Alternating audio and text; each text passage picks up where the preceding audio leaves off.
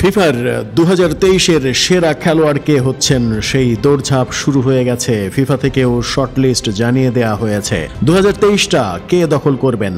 আলোচনায় সব থেকে বেশি লিওনেল মেসি বিশ্বকাপ জিতেছেন আগের বছরে ডিসেম্বরে। কিন্তু দু হাজার বাইশের হিসাব নিকাশ যেহেতু সামনে আসবে না দু হাজার তেইশের হিসাবই হবে।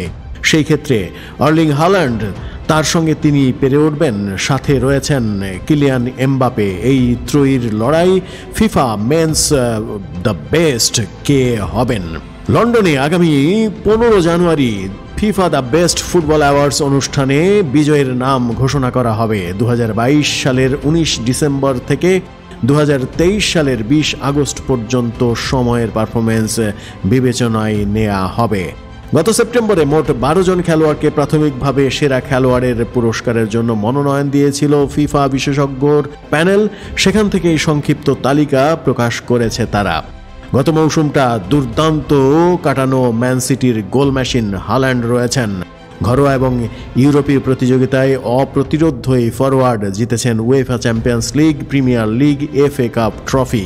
Premier লিগের দ্বিতীয় ক্লাব হিসেবে ট্রাভেল জিতাতে রেখেছেন কার্যকরী ভূমিকা। ফিফার উল্লেখিত সময়ে তেত্রিশ ম্যাচে আঠাশ গোল করেছেন হাল্যান্ড ক্লাবের সাফল্যের পাশাপাশি ব্যক্তিগতভাবেও জিতেছেন ইউরোপিয়ান গোল্ডেন শু এবং ইংলিশ প্রিমিয়ার লিগের গোল্ডেন বুট। প্রিমিয়ার লিগের বর্ষসেরা এবং সেরা তরুণ খেলোয়াড়ের খেতাবও জিতেছেন তিনি। তেইশ বছর বয়সী এই ফুটবলার এখন ফুটবলে নতুন বিস্ময়। দু বিশ্বকাপ, ঠিক যেখানে শেষ করেছিলেন, সেখান থেকেই পিএইচজির হয়ে শুরু করেছেন এমবাপে লিগ ওয়ানে ক্রাসবুবের বিপক্ষে নব্বই মিনিটে পেনাল্টি থেকে গোল করে দলকে জয় এনে দেওয়ার অবদান তার। তার নৈপুণ্যে এগারো বছরের মধ্যে অষ্টম লিগে ওমান শিরোপা ঘরে তুলেছে পিএইচজি ফিফার বিবেচনার সময়ে বিশ ম্যাচে করেছেন সতেরো গোল। অন্যদিকে ছত্রিশ বছর বয়সী বিশ্বকাপ জয়ী মেসি দর্শকদের মন্ত্রমুগ্ধ করে চলেছেন। ক্যারিয়ারের প্রতিটি বড় অভ্যন্তরীণ আন্তর্জাতিক এবং ব্যক্তিগত সম্মান, যেটা এই ফুটবলারকে সব কিছু দিয়েছে। কাতার বিশ্বকাপ জিতে ফেরার পর পিএইচজির লিগ শিরোপা জয়ে দারুণ ভূমিকা ছিল তার। গত মার্চে তৃতীয় খেলোয়াড় হিসেবে ছেলেদের আন্তর্জাতিক ফুটবলে একশো গোলের মাইল ফলকও স্পর্শ করেছেন। গত জুলাইয়ে নতুন চ্যালেঞ্জ নিয়ে যোগ দিয়েছেন মেজর সকাল লিগে ইন্টার মায়ামিতে যোগ দিয়ে এই ক্লাবটির ইতিহাসের প্রথম শিরোপা জয়ে ভূমিকা ছিল তার।